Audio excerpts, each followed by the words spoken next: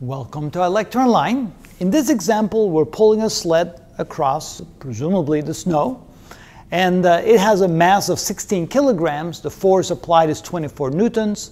We're not given the kinetic coefficient of friction. Matter of fact, that's what we're asking for. We start with the, sl the sled at rest. Velocity equals zero initially, and after we've pulled the sled 8 meters with a constant force of 24 newtons, the sled has reached a speed of 2 meters per second. From that information, can we figure out what the coefficient of kinetic friction is? The answer is yes. Let's use the energy equation. We can say that energy initial equals energy final. And so any work put into the system plus any initial potential energy plus any initial kinetic energy should equal any final potential energy plus any final kinetic energy plus any energy lost because of friction. And in this case, energy will be lost because we do assume there's going to be friction. Yes, we do put work into the system because while the sled is sliding across the snow, there's a force being applied during the entire time. So work put into the system is going to be force applied times distance plus Potential energy initial, since it's on the ground, it has no height, that's zero potential energy. And since the initial velocity is zero, there's also no initial kinetic energy. As far as the potential energy final, again, it's zero because no height was gained, but it does have velocity at the end, so there is some final kinetic energy, so that would be plus one half mv final squared, plus the energy lost, which is the friction force multiplied times the distance. The distance again being 8 meters.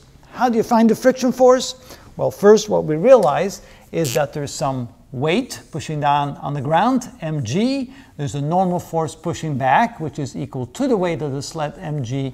And therefore there's a friction force for friction, which is equal to the normal force times mu, which in this case is mg mu. And of course we talk about mu sub k because the sled is moving. All right, let's go ahead and put all that in. So we have force times distance. Force times distance is equal to 1 half mv final squared plus the friction force, which is mg mu sub k times d.